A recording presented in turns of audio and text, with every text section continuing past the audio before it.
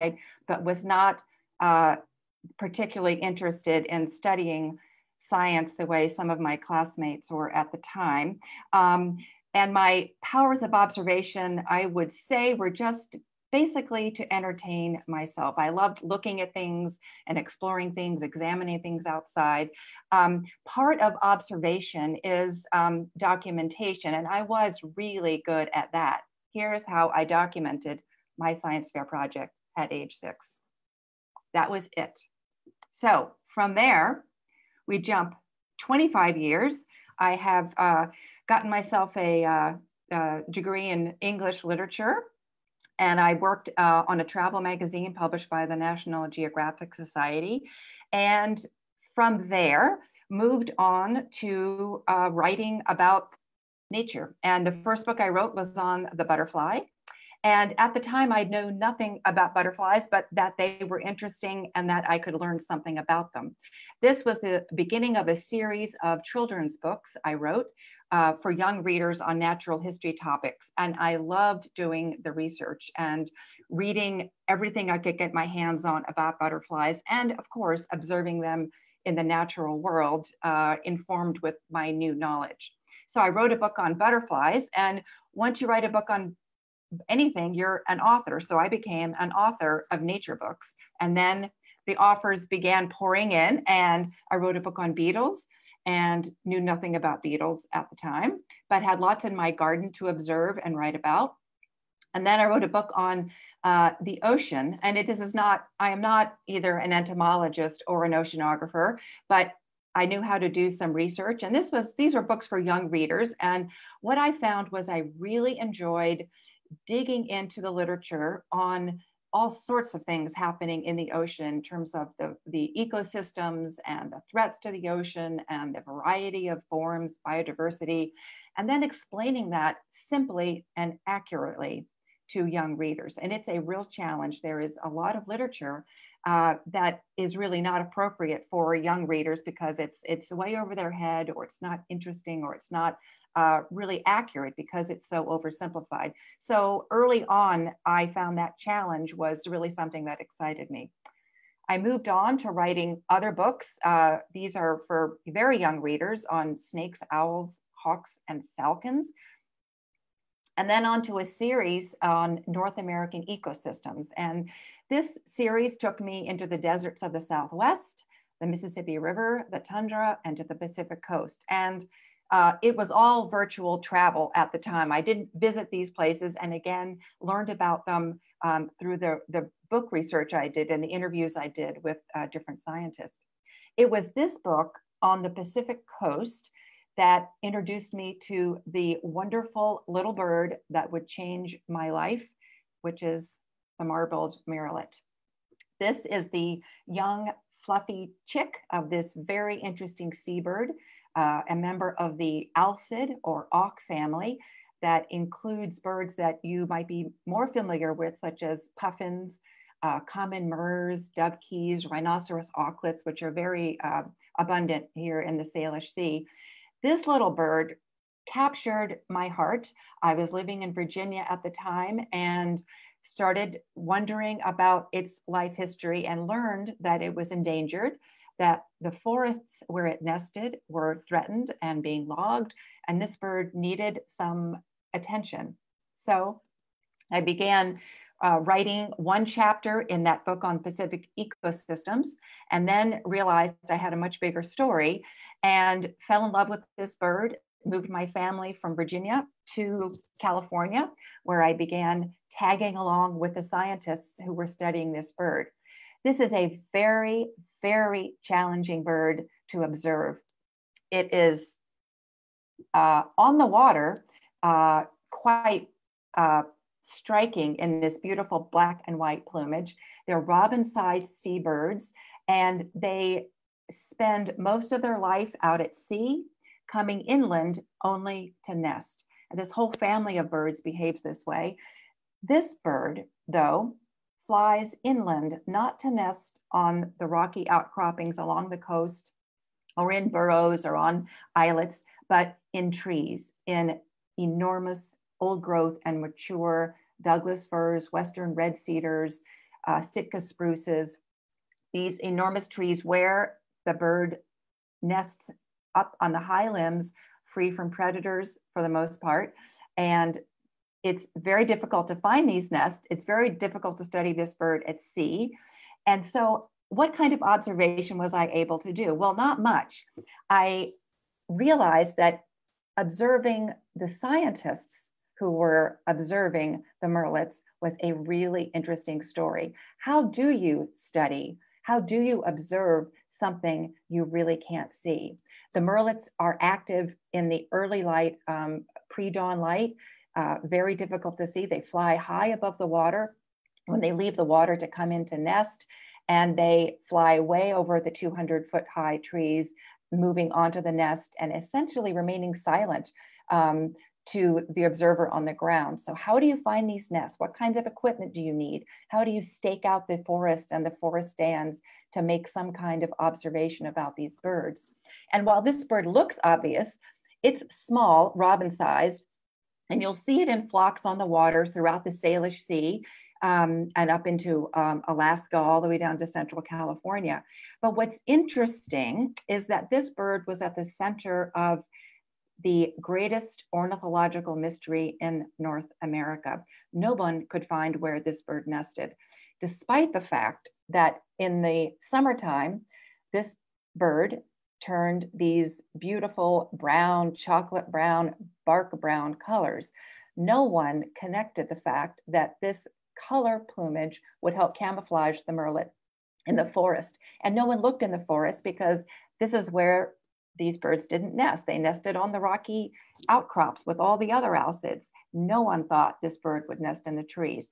So it took a really long time for them to find where the bird nested 185 years. That story intrigued me and propelled me into um, the world of discovery for this species, going back to Captain Cook's voyage and, and earlier to followed the path, the story of how scientists made their observations and linked all the pieces of the puzzle together.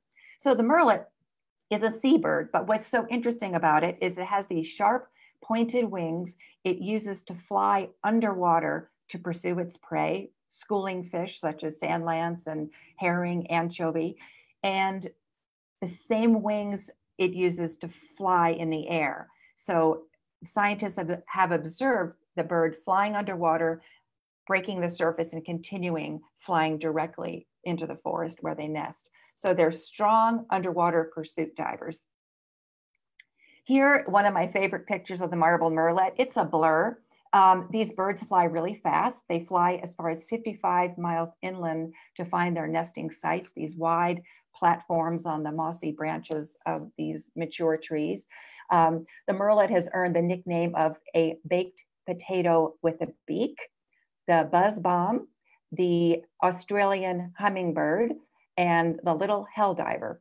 And you can see here, it's a very heavy bodied bird. Its wings are relatively small and it whirs them almost like a hummingbird to keep its um, body airborne. The nest, the first nest was discovered in 1974. The murrelet was the last of all uh, 800 or so North American breeding birds to have its nest discovered. This is really late. We had put a man on the moon by this point, but we had not found the marbled murrelet nest. So it happened by accident after years of ornithologists and birders and egg collectors trying to find the nest. It happened by accident. Uh, a tree trimmer um, climbing a tree to do a safety trim, nearly stepped on a little bird he described as a porcupine with a beak sticking out. It was the marbled murrelet chick with its downy pin feathers still in place, hunkered down on the top of a nest branch. So this is the, the murrelet egg. The marble murrelet lays one egg per year. It's a large egg, well camouflaged in the forest. You can see here the, uh, the duff, the moss on the nest branch. The marble murrelet, it turns out, doesn't actually build a nest. It just lays its eggs on the available moss on the branch in the, uh, in the high limbs of the forest. And as I mentioned, the uh, murrelet is the size of a robin. Its egg is the size of a small chicken egg. And here um, is our friend, the marble murrelet chick, high on a branch. This is about 25 miles east of Seattle. And this is a unusual photograph, and I'm gonna show you in just a minute the videotape. It's three minutes of this chick sitting on its nest.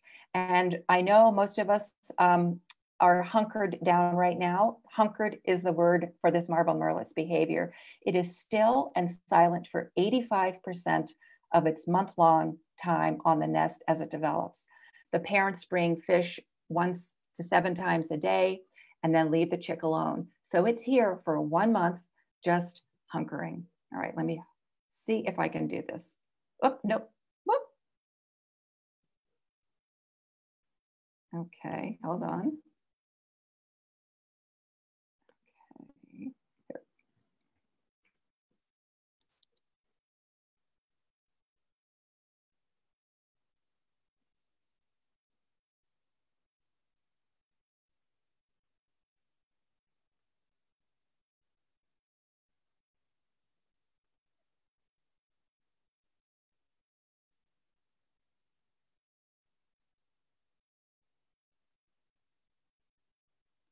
The chick is essentially defenseless. So the camouflage and the stillness are part of its defense or protection from predators such as jays or ravens or owls that could be in the forest.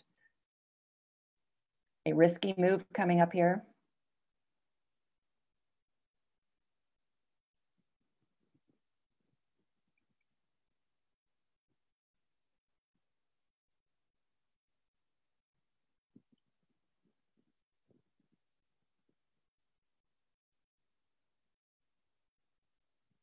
And it will snap at insects, also dangerous.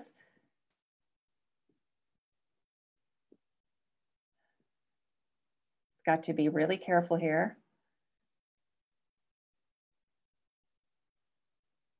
If it falls, it lands on the forest floor and will not be able to fly again. It cannot take off from the ground.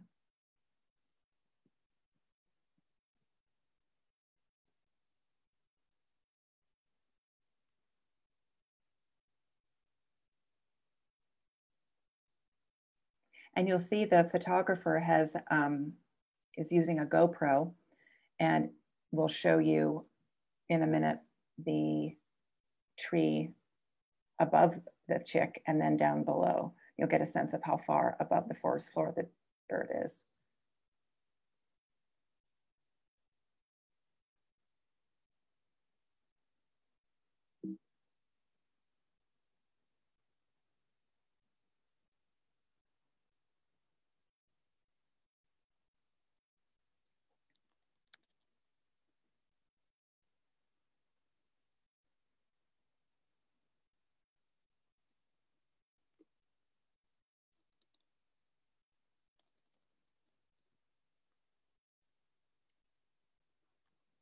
So that's as much protection as the murrelet has above from the weather, from rain, snow even.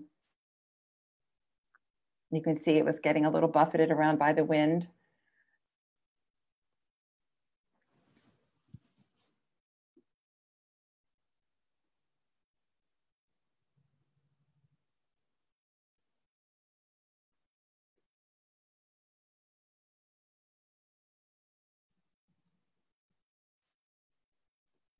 Okay, there you go. That is the day in the life of a marble murrelet chick, three minutes of its 30 days on the nest. And this video I'm going to show you next is uh, the prey delivery. So this is an adult murrelet on the left, a parent bringing a whole fish to its chick. Uh, this happens one to seven times a day, depending on the age of the chick and how far the uh, nest is from the coast.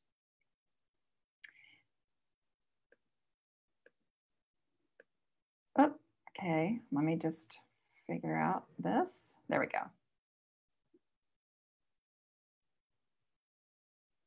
And the chick will swallow the fish whole and head first.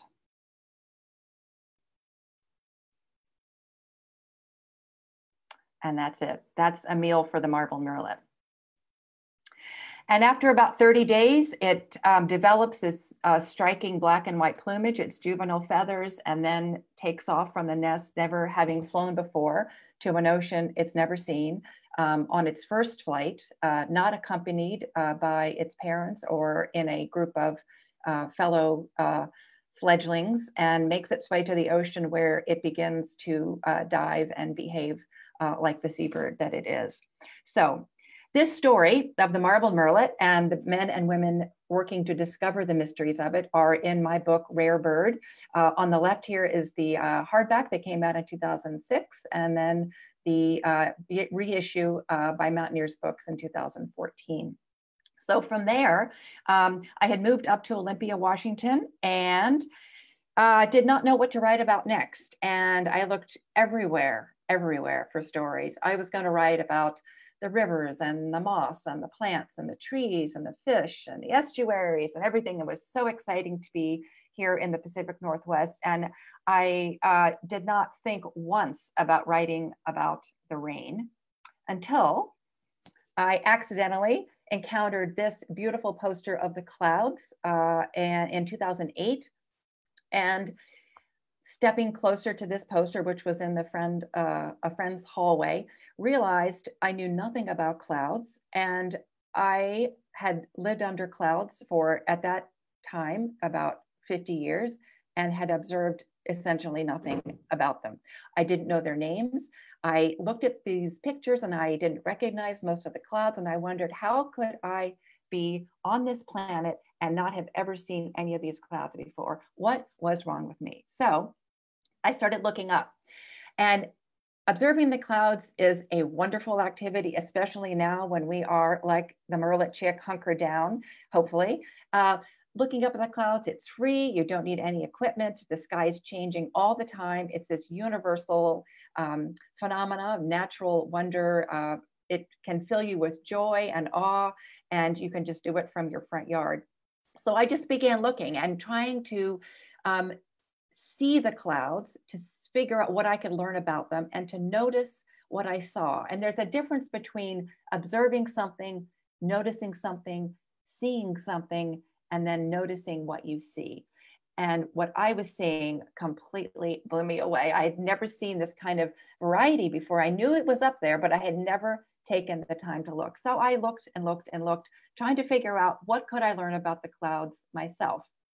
It wasn't that much. They're very difficult to study. They don't explain themselves. And I realized, you know, early on in our lives, most of us, uh, our first connection to the clouds is by looking up and seeing what kinds of shapes they they take on. This one looked like a big monster. This is coming over uh, um, Budd Inlet here, and it looked like a big monster with its wings swept back. It's sort of in profile. We love seeing shapes in clouds and animals in clouds, but often we kind of look away afterwards and think nothing else of the clouds. We also admire clouds at sunset. We call it a sunset, but really it's the clouds that makes this so dramatic. And I was interested to know what makes these clouds so beautiful. Why do they turn all these colors? And why did we really only look at clouds and really appreciate them as sort of backdrops at sunset or backdrops for, for photographs? We all know some clouds. I was rather surprised moving to this very cloudy part of the world. Um, in Olympia, I think we have clouds 228 days a year.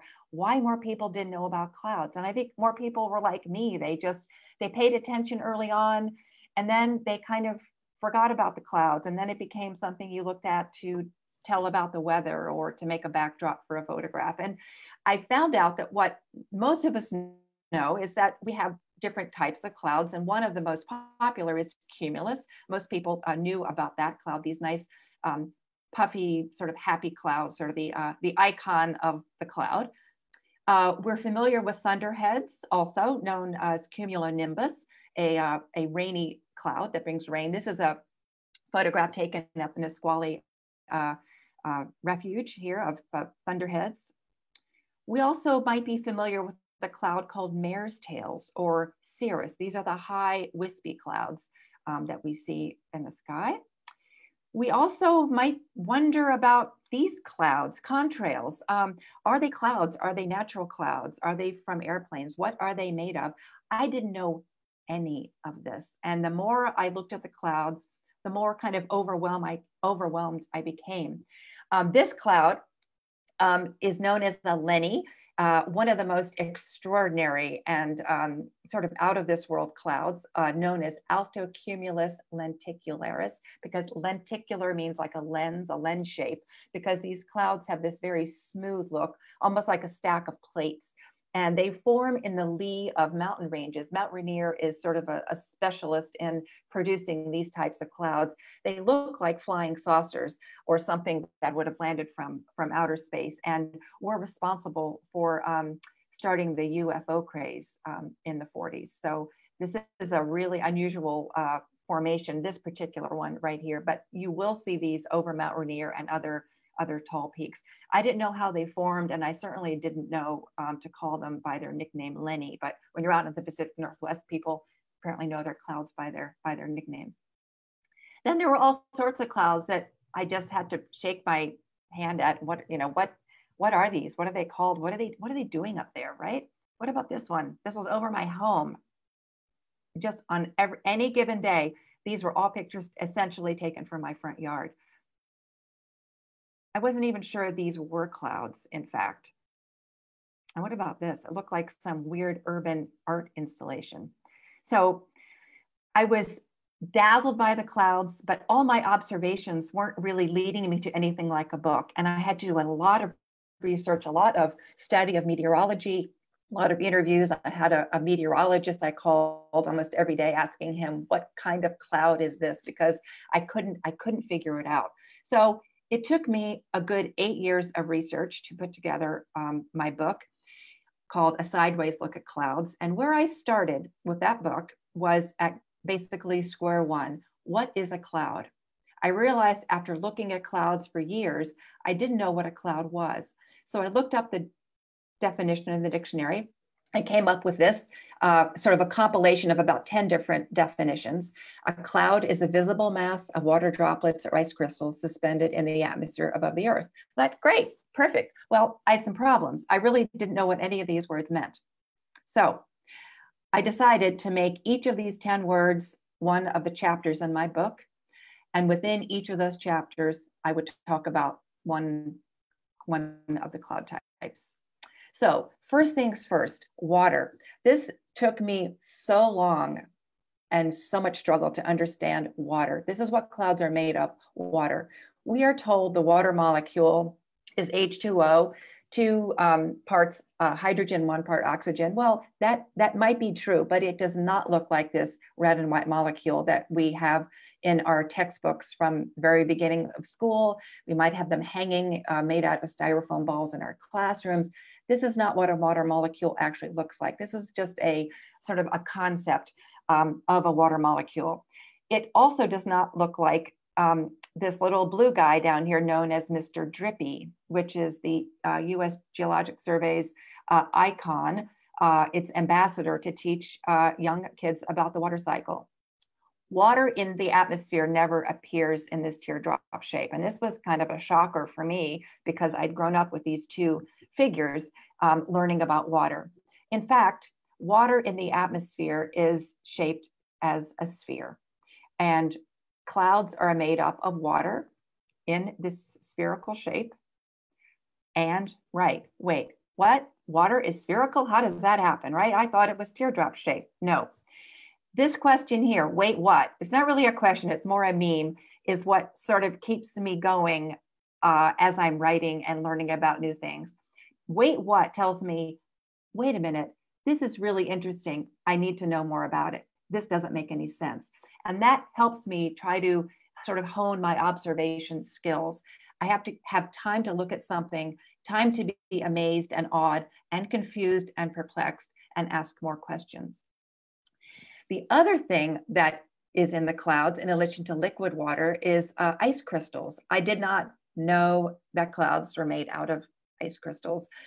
And when you sit on the ground on a sunny day and you look up at these beautiful clouds, it's really hard to imagine there's ice in them, but there is.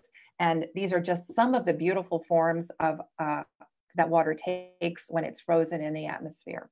So you have water as liquid, water as ice, and then you have this other magic ingredient, um, dirt. And dirt and water together are what make clouds. Uh, and dirt comes in all sorts of forms. It's actually called condensation nuclei or particulates or aerosols. All these different things here, ash, pollen, dust, and salt are in our atmosphere in, in huge quantities. And that is what the water uh, condenses uh, on and then crystallizes um, to form our clouds. So just water and dirt. If you give me water and dirt, I'll make a mud pie, but the atmosphere makes beautiful clouds. Those clouds, there are hundreds and hundreds and hundreds, uh, just an unquantifiable number of clouds to be seen. However, the World Meteorological Organization uh, has listed 10 as the number of main cloud types. And here they are. These names really threw me for a loop. Um, they are uh, long and confusing and Latin, and I almost wanted to give up writing because of these horrible Latin names. In my book, I explain why these names are the way they are, why they're confusing, why you should love them, and also why you should ignore them if you want to. The most important thing for me was not learning the Latin names, but paying attention, observing the clouds. I made a habit of sitting outside for five minutes a day watching the clouds. Sounds easy, it's really challenging. And it's really challenging for many reasons. One, if you don't like to sit still, it's challenging. Also, it's really hard to look at one cloud for five minutes or look at anything for five minutes straight. And I found my eye was looking all over. I was looking at this cloud, then that cloud, then this butterfly, and then that bug, and then, oh, the car in the road. And I kept getting distracted and distracted and distracted eventually, we're talking about five or six tries. I got to the point where I could stare at a cloud for five minutes and it the whole world opened up and I was watching clouds essentially forming and disappearing right before my eyes. And this, I would say, the five minute cloud was the most challenging part of writing my book um, next to finishing it. So I finished that book um, A Sideways Look at Clouds, uh, published in uh, 2017 by Mountaineers Books. And I had spent an awful lot of time looking at clouds and also looking at clouds in water and swimming in water under clouds.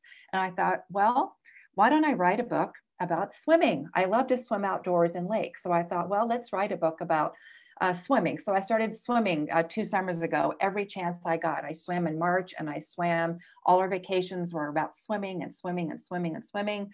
And I have this thing called um, attention surplus disorder. So while I'm working on this project, I also fell in love with another bird, uh, a crazy cousin of the marbled murrelet known as the pigeon guillemot. This is a charming, dynamic, hilarious, clownish bird um, in the alcid family. Uh, the pigeon guillemot is about the size of a pigeon. It is a common bird in um, the Salish Sea um, um up through uh, from, actually Southern California, kind of the same range as the marble murrelet, but it extends beyond uh, the Pacific Northwest into Alaska and then down into um, the northern uh, uh, islands of Japan. So this is another uh, pursuit diver, uh, fast swimmer underwater. It's got the webbed feet here. Um, this is not a typical picture being underwater, but these are the birds, and you might have seen them um, from our coastline, from some of the parks around the Salish Sea, or from the ferry crossings back and forth um, between the islands. These are um, uh, wonderful birds with black and white plumage with a stark wing band and then these bright vermilion linings of their mouths and these bright, bright red feet. And when they come flying in, it is really fun to watch their bright red feet backlit in the sun coming into land. They are seabirds and they spend most of their time um, offshore and come inland in the summer, just as the murrelets do. But these uh, guillemots do not nest in trees. Um, Here's one. Uh, you can get the good, good feel marks and see those beautiful red feet and that very distinctive wing patch there, their sharp beak. Um, the, the guillemot nests um, in burrows. Uh, here in South Puget Sound, these are burrows that could have been excavated by a kingfisher um, or another bird um, or partially excavated by the guillemot itself. And they are burrows that go deep into these um, erosional bluffs along um, our, our, shorelines here. You'll see them all along Salish Sea here in Olympia at Burfoot Park. We have some colonies there um, all around. And also um, they nest in sort of uh, rock, rocky uh, outcrops, um, uh, also in derelict uh, fishing piers, lots of different um, locations, but they are uh, cavity nesting birds in this in this instance and they come they come inland they gather just offshore you can stand on the beach and watch these birds they're very vocal they've got these trilling whistle calls and they are usually at this time of year right now beginning to come in and you'll see them chasing each other and flying over the water and dancing. They're very gregarious. They look like they are having a really great time. And they are there for you to watch and observe. Um, if you're quiet and still and pretend to be a piece of driftwood um, on the beach, um, you can get a really good look at them. Um, this is what their burrows look like. And these are, um, as I said, they're, they're, I didn't say they're colonial birds. So they nest in these colonies. Um, and we have uh, colonies, uh, you know, anywhere from say 10, 20, 30, 40 birds um, um, around the Salish Sea. And you might have noticed some of these burrows and not known what they were there for. If they, they could be you know, owls in there, they could be kingfisher in there. Um, uh, doesn't there's lots of different animals that, that could live in these, but these particular ones that guillemots use. And I got interested in these birds when I became part of the fabulous um, citizen science project um, that's run through the Nisqually Reach Nature Center. And it was started up in uh, Whidbey Island uh, by the Audubon Society there. And they began just being curious about the guillemots that were around Whidbey Island, developed a protocol for citizen science to go out, spend one hour on the beach once a week, and just observe how many birds were out on the water, what kinds of fish they were bringing into their chicks, uh, uh, what they were doing, what disturbances uh, caused them to change behavior, such as bald eagles or boats going by. And this project really got me to fall in love with our uh, sort of coastal ecosystem, and in particular, these birds and their, their life cycle um, in Puget Sound. So here's a, just another example of those same burrows, and you can see these are very active, dynamic, erosional um, bluffs, um, sandstone, and the um, you can see the trees that are coming down here. The guillemot habitat is dynamic, so you'll see burrows sort of coming and going over time. And you might have walked along a beach just like this all throughout Puget Sound and not really noticed these burrows before, but now you can look and imagine that there could be a guillemot there. And you, if you listen carefully, you can also hear the guillemots um, um, singing and follow them uh, to their nest.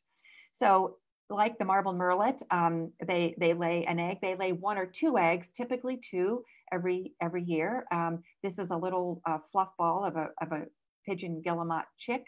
The parents bring fish to the nest um, to feed the chick, just like with the murrelet, whole fish. Um, in this case, the most common that we see on the beach, uh, the surveyors um, are seeing gunnel and sculpin, sometimes cod and perch.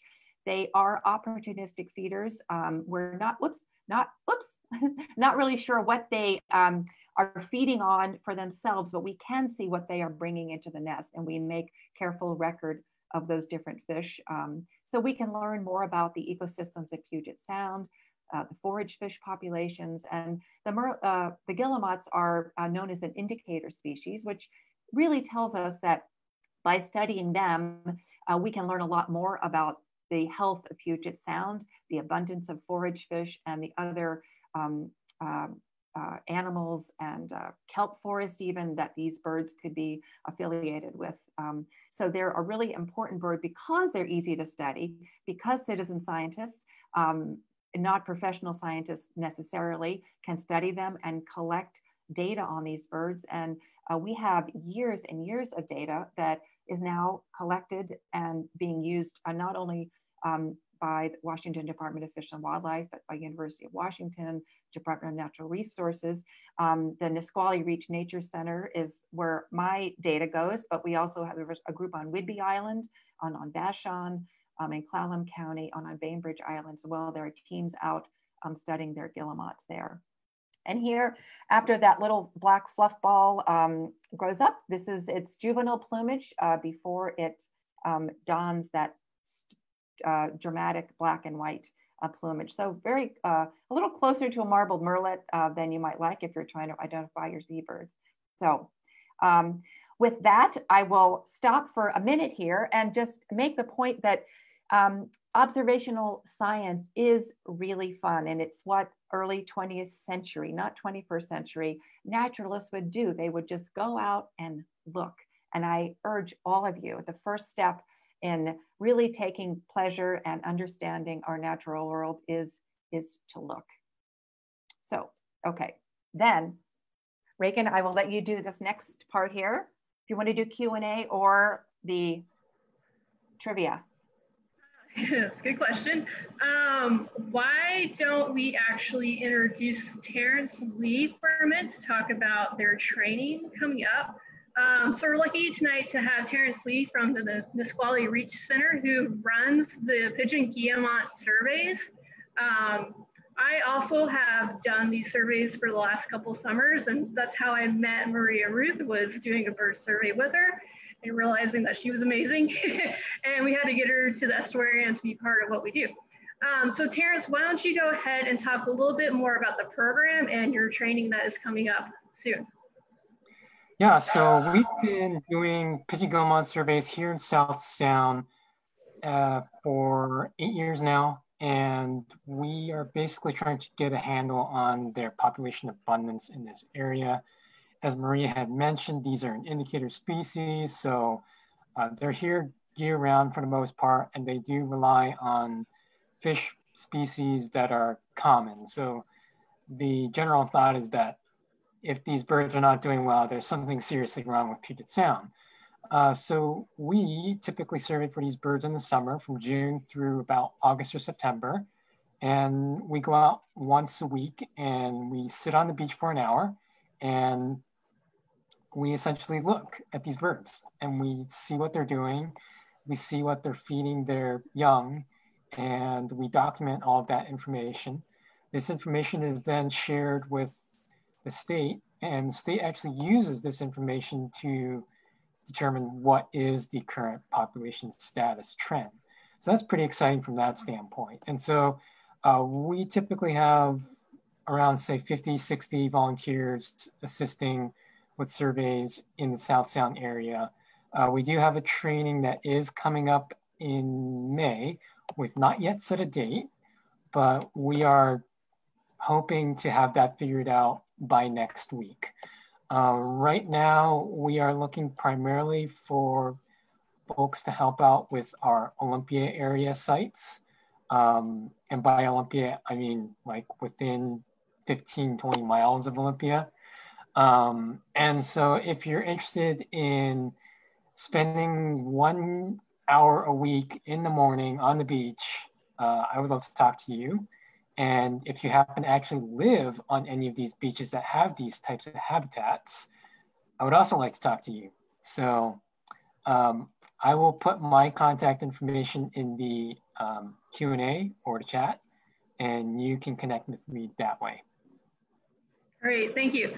Yes, um, it's a really amazing program. Um, if you are interested in developing skills to be a scientist or just want to contribute, um, I highly recommend reaching out to Miss Nisqually Reach and trying to be a part of this program or any other programs that they have. Um, thank you, Terrence. It's good to see you. Yeah, you too. Thanks. Bye.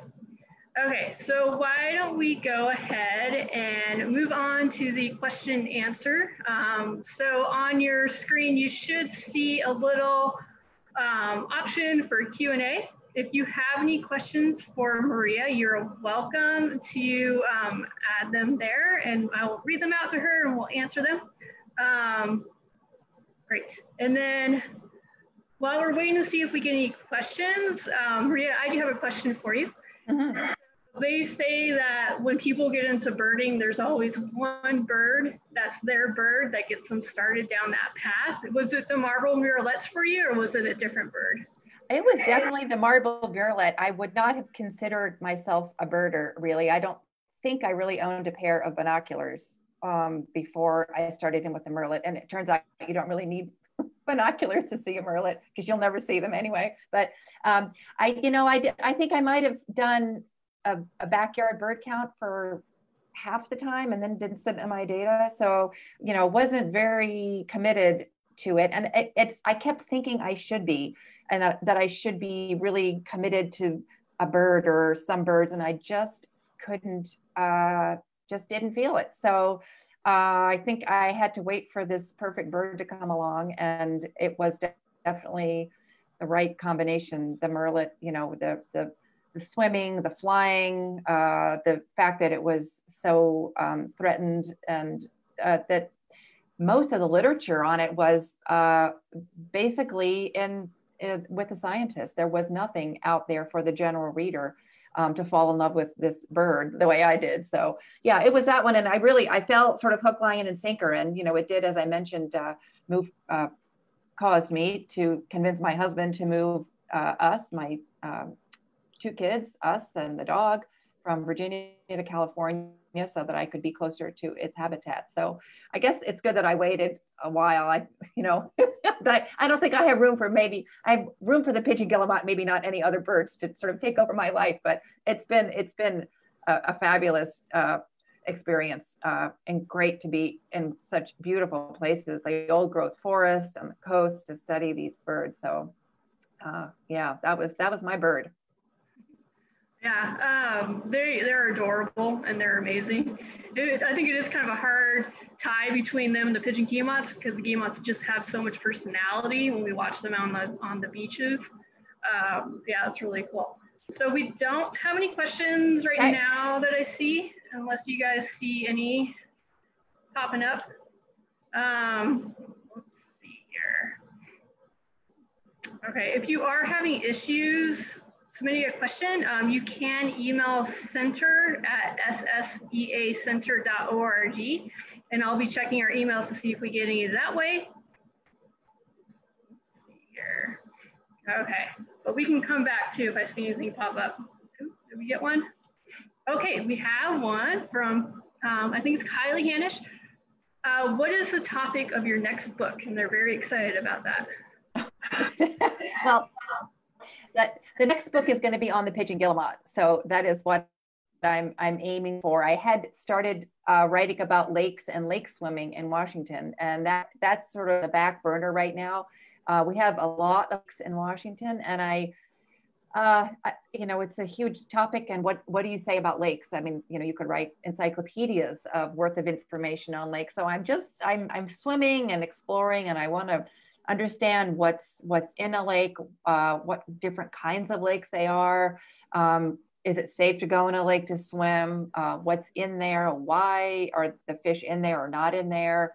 Um, and kind of understand uh, lakes from a sort of uh, geological and social and recreational point of view. I don't really know what that means. So I'm just right now swimming um, and figuring all that out. Um, so in the meantime, uh, this book on the pigeon guillemot um, and the Citizen Science Project, because I think it's um, uh, probably a more critical story right now. Um, so many of our seabirds are struggling, and we have massive die-offs um, that are reported when the forage fish um, population crashes or when the ocean temperatures warm and the fish population crashes. We get huge seabird die-offs. And um, the guillemot for right now is stable. And um, I, I want to write about this charming, entertaining bird. I love spending time sitting on the beach. Uh, we are collecting data for an hour, but when you sit there, you are collecting so much more than data, your experience of the beach, of the sunrise, of the tides, of everything that's washing up and coming in, the eagles overhead, the harbor seals, the loons. It is so rich that I could probably get about 10 books out of it. I'm going to try to focus on the pigeon guillemot and on the people who are the citizen scientists, the volunteers who spend their summers coming down to the beaches and have really wonderful stories to tell about their experiences and their deep uh, and developing connection to uh, the place that is uh, Puget Sound. So that's that's what I'm working on. Thanks for the question. A good question. Um, okay, so next one we have is where was your favorite place you went swimming when you were writing your book? So you're still in the process of writing that book. So. I'm still in the process. So the place, um, uh, it was uh, Jade Lake um, up in the Alpine Lakes Wilderness. Um, and it was last summer and it was um, a really strenuous hike, uh, sort of a two day thing uh, up a, a scree slope where there was really no trail whatsoever. You just had to kind of pick your way up this slope and you're way up in uh, this wilderness area and you come down and you see this stunningly beautiful lake that looks completely artificial. It's got the, um, the sort of um, glacial milk, that sort of fine uh, flour almost that is refracting the sunlight and causing it to turn this beautiful shade of it. I, it's not really turquoise. It's not really jade, more like turquoise. And um, it was still lots of snow around it. And um, it was really, really, really, really cold. And um, I got in and I, I lived. And the problem, the problem is once I get in, which takes me a really long time, I want to stay in and the longer I stay in, the more risk I am for getting hypothermia. So this, this real challenge. Here I am in this beautiful lake, you know, all by myself. The most magical thing was sitting on the shore of this beautiful lake. A an, uh, an osprey flew off from across the shore over the water, and this white bird or the white underwing turned the color of the lake just for a moment as the wings turned and then it went back over the land and the wings then went back to their white color. It was absolutely surreal. So that was my perfect moment. And I really doubt I will ever have another such swim um, in another lake, but that, that was the peak for now. Yeah. Uh, that sounds pretty amazing. It was, yeah. okay, so our next question is, is there a minimum height for a tree to house a marble murrelet? Mm, nope. They um, they typically I think the low uh, nest height is 50 feet. That's the minimum. So um, generally, however, they are in trees that are uh, 150, 200 feet high. Um, why? Why such tall trees? Well, those are generally older trees, and older trees have wider branches in the tops, and that's what the murrelets need, a little bit uh, wider. They say the minimum is four inches, but that's uh, on the low end of the scale. Um, they typically need a little bit wider branch um, to nest on. So the height doesn't matter. It's really the width of the platform. Uh, the platform is the sort of scientific name of the branch um, where they make their nest. Um, and because they're, they're web-footed birds, um, they don't um, have the anatomy, let me see if I can do it, to perch, so to grab onto a branch. So they essentially have these flat webbed feet that they come in on the branch and sort of land flat footed on the branch. So they need a wide branch to enable them to land uh, safely and not sort of go pitching off the other side. So those, those large branches tend to occur higher up in the trees. And those also are ones that are safer from uh, ground predators that would uh, eat the egg or the chick. Okay, great. Okay. So if you if you plant a seed now, you could maybe have a good murrelet tree in a hundred years. That's we need more of them for sure. Yeah, yeah. um, okay, so we have one more. Um, she says that she's looking forward to your next book as well. Okay. Um, and she's asked, what beach do you typically sit on when gathering data? Um, so this might be a little bit of a Maria and a Terrence question too. Um, so I'll leave open up to you guys. Sure, I can I can talk specifically about where I go, and then Terrence can expand more. Um, uh, I've been to a couple different beaches. Um, they are uh, private access on um, Eld Inlet. Um, I've been also over at uh, in downtown Olympia at Hearthfire. The restaurant there. There were guillemots there. I thought might be nesting under the old uh, derelict dock structure, but turns out they were just sort of, you know, loitering there instead. Um, and then uh, another uh, site out further at a beach known as Edgewater, which is also on um, Eld, Eld Inlet. Yeah, um, so we we typically survey a lot of different beaches. I think at last count we had close to 50 or more beaches in South Sound that we survey. And we kind of take beaches and we subdivide them so that kind of artificially inflates the number of beaches. But uh, basically, as Maria showed in her uh, presentation, anywhere that you have this kind of tall bluff habitat, um, that's typically where we would be surveying. Not all tall bluffs have nesting habitat, uh, but we haven't actually been to all bluffs in South Sound. So uh, there's a lot of places we haven't looked and a lot of places where we do know that there are guillemots. And uh, yeah, so if you actually want to get out and see them or you want to see their habitat, a good local place is Burfoot County Park uh, where actually Reagan, I know she does the beach naturalist program. So yeah, it, it's actually a really good place because the birds there have actually gotten acclimated to people. So uh, there's a pretty good chance of actually seeing them and not spooking them. Otherwise, they're a pretty skittish bird. Okay, um, we actually got another question in uh, from Diana and Ken. Hi, Diana and Ken. Uh, will the murrelets nest in a suitable Sitka spruce with 10 miles, within 10 miles of the ocean? Yes. If, if there is a suitable platform. So you can have a, you can have a, a old Sitka spruce within 10 miles, but if it doesn't have a platform on it that works for the murrelet, um, they will not likely nest though, or, or if they do, the nest won't um, succeed. So it has to, it has, the platform is really the key.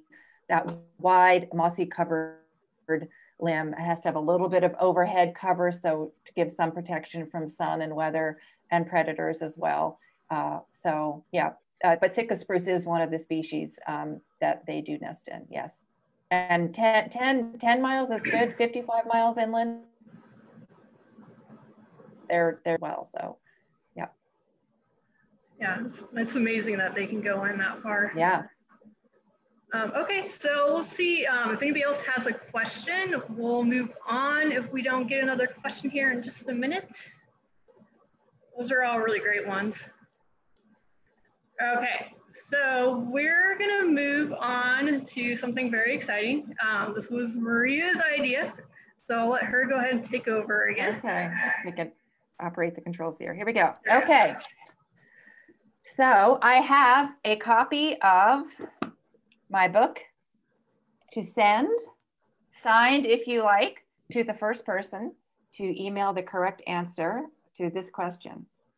What is the Latin or scientific name for the cloud known as a Lenny? And this was in my presentation and I made sure I slowed down on that slide and said the name. So if you know the scientific name, the two-part scientific name for the cloud known as a Lenny. Okay, just email the answer. Okay, that's one. Should we wait for the winner or just move to the next one? In well, case let's go ahead and move to the next one. Just, everybody. Yeah. Okay, then a free copy, signed, sealed, delivered of Rare Bird uh, to the person who can name one of the names of the marbled murrelet. I don't even know if I could name that right now. I have so many. Okay, yeah, that's great. Thank you so much for doing that, Maria. Was there? Are welcome. Those was the two. Okay. Yeah, that's really exciting. Two, yeah. Perfect. Yeah, and then I just have one. Um, this last slide here. Um, uh, just so you know, um, I have uh, information on the um, the Guillemot um, Citizen Science Project down there. Um, two two websites. Um, PigeonGuillemot.org is the um, Guillemot Research Group website up on Whidbey Island. There's some beautiful videos of these birds um, uh, and other information on there. Great pictures by Govinda Rosling. You'll get a sense of how wonderful these crazy red feet are. Um, you can hear their calls and all that. And then um, Terrence um, has information, his, his, email also at um. There's links there to citizen science and then Pigeon Guillemot. So you can find out more about the training and the project and what's going on there. And um, my books are still available in print. You can get them directly from Mountaineers Books, from Browsers Books in Olympia, and also from Orca Books. So those are three um, bookstores. I'm sure you can, if you want, can Google them um, and find out. And there's more information, videos, pictures, etc., on clouds and murrelets and lakes and such and guillemots on my website, mariaruthbooks.net. So that is my pitch. I hope you all get interested and just fall in love with this beautiful world we have here. And I know everyone has been so patient, hunkering down at home and exploring their backyard and their their dandelions and their dirty house. But it's really going to be great to get out and get to some of our beaches and our parks. And so this is going to be a wonderful uh, experience to take all this uh, joy uh, out into the world um, and learn about some of these great things that we have got here. So.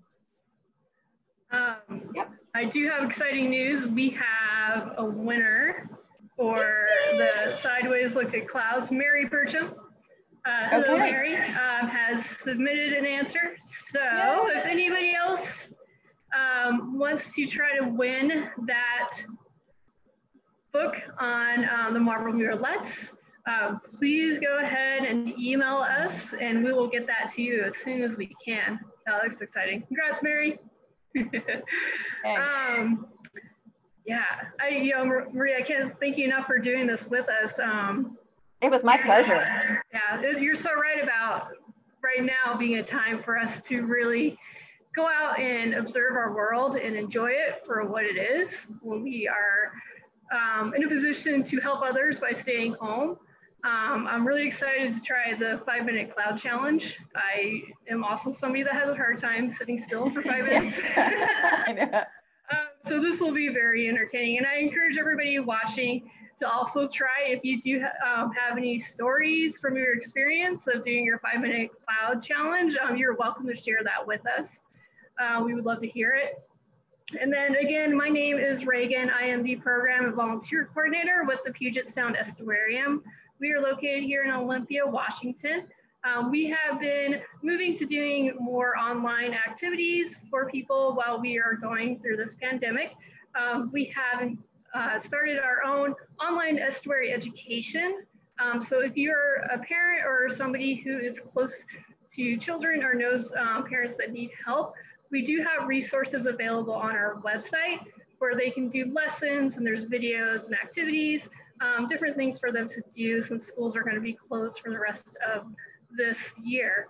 And then we will also try to do more of these Discover Speaker series um, as they come up. And if you're interested in becoming a volunteer with us, um, you can check out our website and submit a volunteer application, and we'll get back to you with more information on how to volunteer. All right. Well, thank you so much, Maria and Terrence. You're um, welcome. Thank really you. Great. Yes. Thanks and for having us. yeah. it's a new reality. Like I said before, it's a new reality. We're all yeah. getting used to it. That's good. Yeah. Thank you. Thank you for putting this on. Yep. Yeah, thank you so much. Okay. All right. All right. Good night, everybody.